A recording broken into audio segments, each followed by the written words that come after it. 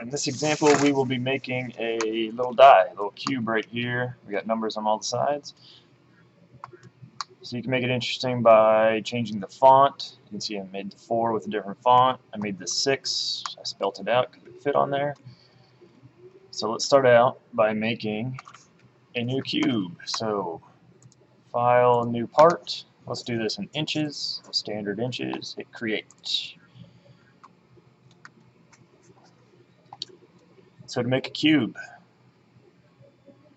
with the start sketch, pick my face, let's make it a one and a half inch cube. So it's going to be 1.5 inches. Hit tab, 1.5 inches, hit enter.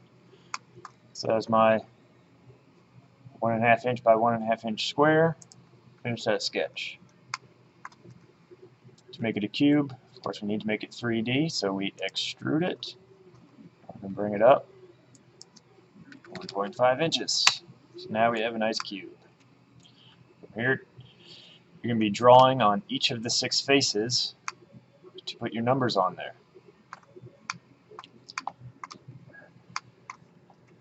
So for each face, start sketch, click your face.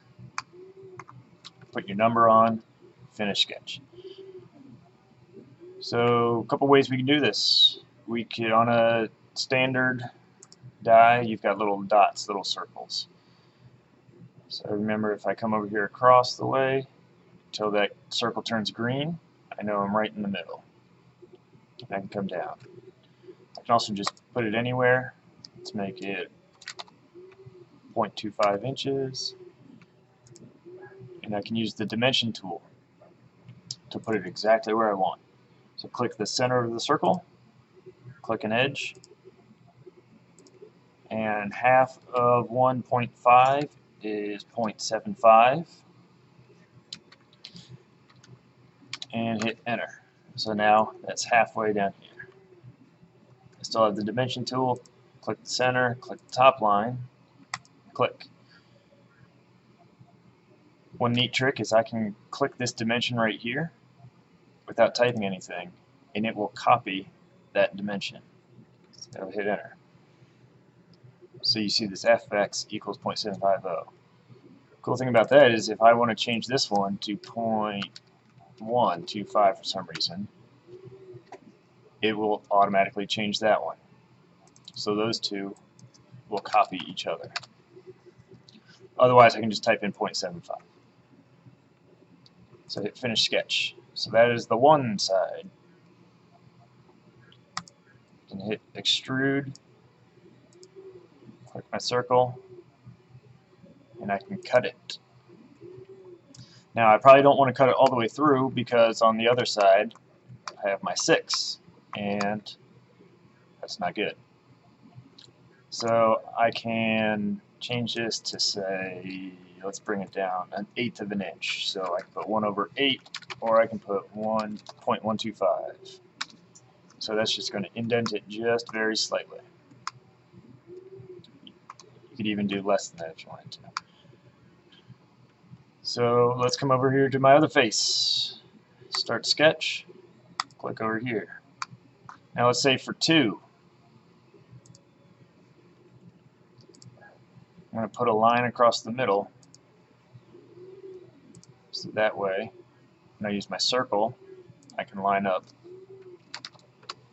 0.25, 0.25.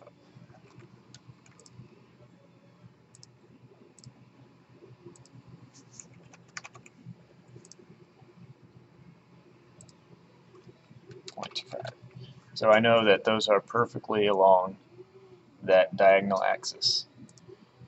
I can make my dimension the same from the top click the center, click the top. Let's put it at, uh, let's say, 3 eighths of an inch.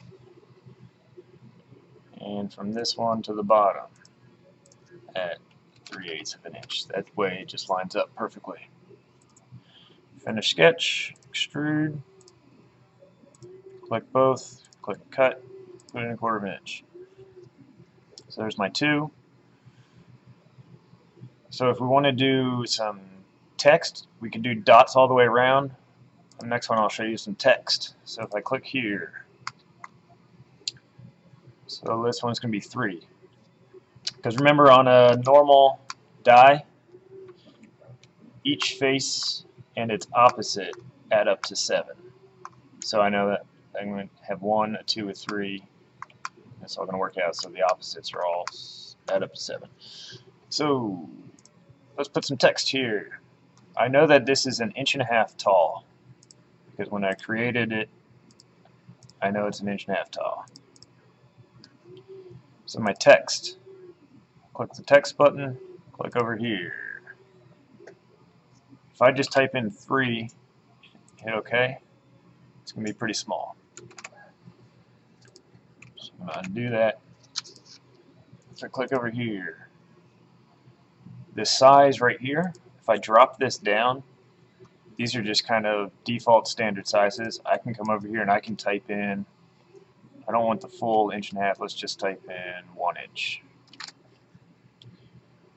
Right here is my font, I can change it. So, I like the Copperplate. It's pretty. And let's put a 3. And hit OK. So there's my 3. Now that's up in the corner. It's hard to justify where it is before you click it, so I'm going to use the Move button. The Move button is kind of confusing at first. It's not just a simple click and drag. So click Move, and it's just like a lot of these things, it's a two-step process. So first I have to select, and I have to pick a base point and move it. So select, select my shape. Click base point, and here I'm going to click somewhere on here. So let's click the top corner, and now I just click the top corner, and now I can move it wherever. So that looks good. Done. So I finished my sketch on that one. So there's a 3.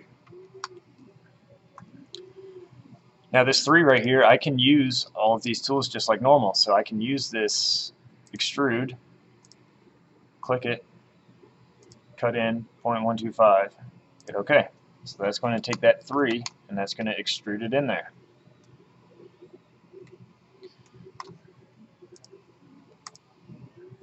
So let's go to this face. So that's a 2, so it needs to add to 7, so this is going to be a 5.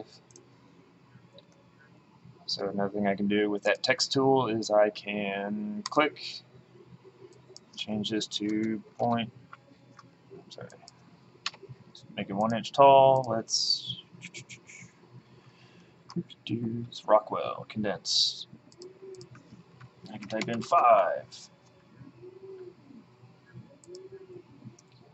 Alright, so that's not going to fit on my block. So I can use the scale button also select my piece, just like move, two steps. Select base point, click a piece. Looks good right there. Done. Move. Click, base point, click, down. Done. So that's my five. I know I went through that kind of quick, so let's undo that, show you that again. So that's too big. Click my scale, it's a two-step process. First is to select, click, go to base point, click, pick anywhere on here, hit click, and now I can move my mouse around until it fits. Hit done. Move. Click, base point, click, click. Done. Finish sketch. So that 5 I can extrude again. There's also this option right here to emboss. What that will do is if you have like a curved surface that you wanted this 5 to go on, you can emboss it in there. So I want it to go in, let's say 0.1 inches, OK. And it'll do just about the same thing as extrude. So you can figure out how to do the other sides, the 4 and the 6, make it however you want. So these edges right here are very sharp. We want to change those a bit. So we're going to use the fillet tool or the chamfer tool. So they do very similar things. What a chamfer does is if I click this and I click my edge and I hit apply, what that's going to do is right here, it's going to cut that off at a 45 degree angle. So if I do all these edges, that's giving me an error. Hit apply. Come over here, I can click all of these edges and it will do all the math and everything for me. Hit apply. So I have a nice crisp 45 degree angle right there. If you want to soften it up a little bit and make it rounded, you use the fillet tool.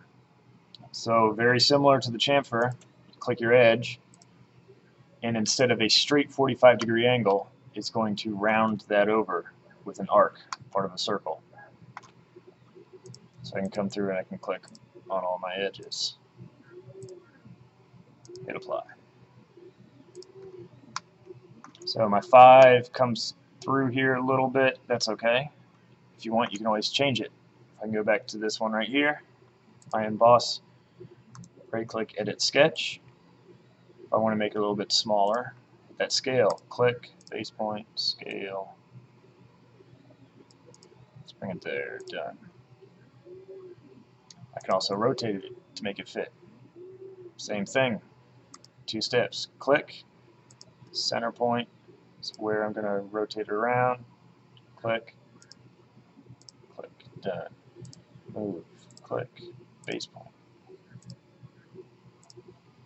done. Now when I hit finish sketch, it's going to automatically update it all. So that's how you make a die. Real quick. You can figure out how to make, you know, a six-sided die is the normal one. You can make a three-sided die. You can make a 20-sided die. You can do all those things pretty simple in Inventor. So you can figure that out and make a cool design. Remember, you always want to save it. File, save as. I'm just going to save it. Save it to your H drive. Dice 2. And then to export it for the 3D printer, File, Export. CAD format. Save as type, you're going to go down all the way to the bottom to STL. You're going to go to Options.